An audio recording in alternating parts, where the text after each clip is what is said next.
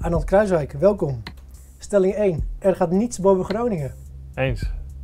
Het winnen van het EK met Jong Oranje in 2007 is het hoogtepunt uit mijn carrière. Eens. Ik heb wel eens spijt gehad van mijn overstap van Groningen naar Anderlecht. Oneens. Het aanvoederschap is mij goed bevallen. Oneens.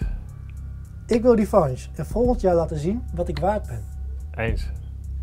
Ron Jans is zeer belangrijk geweest in mijn carrière. Eens.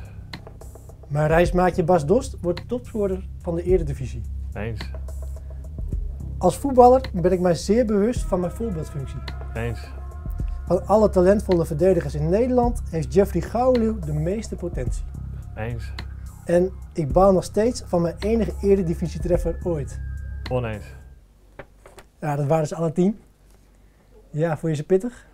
Ja, er zitten toch wel een paar, eh, een paar lastige tussen. Ja, Ja, zullen we eens even langs gaan, want die zei er gaat niets boven Groningen. En daar ben je het mee eens. ja klopt. Eh, ja, ik woon er momenteel ook nog. En ik ben er, eh, ben er geboren en eh, opgegroeid in Appingedam. Dat is een dorpje nog aan de zijkant van Groningen.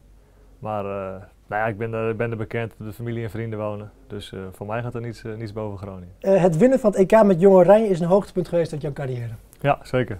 Ik heb dan, ja, dan twee keer mee mogen doen.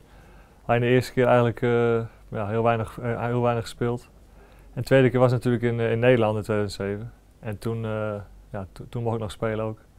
De finale in de Euroborg gespeeld. En hier natuurlijk de, de halve finale met die eh, enorme penaltyreeks tegen Engeland. Dus dat, was, ja, dat, dat vergeet je niet, niet snel weer natuurlijk. Uiteindelijk kom je via een hele goede periode bij Roda Ja. hier in Heerenveen terecht. Je wordt zelfs aanvoerder, maar dat heb je niet helemaal positief ervaren. Nee, klopt. Want ja, eigenlijk vanuit die positie ging ik er ook uit. En ja, toen heb ik natuurlijk een hele lange periode op de bank gezeten. Je speelt nu wel regelmatig, maar je wil wel revanche nemen en volgend jaar laten zien wat je waard bent. Ja, natuurlijk. Kijk, zo- zo'n seizoen als dit is natuurlijk eh, heel vervelend voor mij. En eh, ja, dat is gewoon, gewoon lastig natuurlijk in zo'n eh, in zo'n situatie. Af en, toe, af en toe wel spelen, niet spelen op de bank. En dan, ja, dan, dan beleef je dingen heel anders. Beleef je de wedstrijd ook heel anders. En je hebt eigenlijk het gevoel dat je, dat je, ja, dat je er net buiten valt. En dat, ja, dat, dat kan, eh, kan een keer gebeuren. Het kan ook een, een tijd zoals nu gebeuren. En eigenlijk het, een seizoen zoals nu. Alleen dat eh, ja, wil je natuurlijk geen tweede seizoen. Nou ja, volgend seizoen komt er wel een nieuwe trainer, dus op zich nieuwe kansen. Hoe zie jij dat?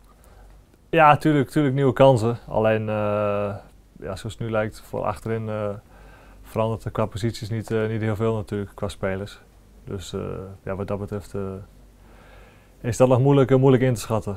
Misschien verder kijken. Ja, misschien wel, ja. Iedere dag een reisje samen met Bas Dost naar Heerenveen toe natuurlijk. Ja. Ja, hij wordt de topscorer van de Eredivisie volgens jou. Eh, ja, nou, ik, eh, ik twijfel daar geen moment aan dat hij, eh, dat hij topscorer wordt. En ik denk, denk hij zelf ook niet. Dan wil ik even afsluiten met je enige Eredivisie treffer, treffer ooit. Want je, je scoort niet zo vaak dus. Nee, nee, klopt. Nou ja, het was ook in de Euroborg toevallig.